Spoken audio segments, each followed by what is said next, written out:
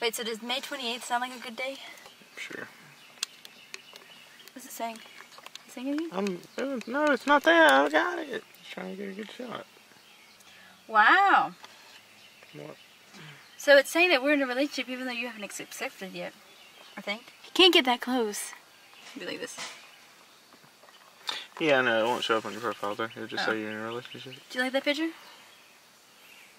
No, that's terrible. Change that. Know why I picked that. How do I change it? That's hilarious. Oh, you're recording. That's why.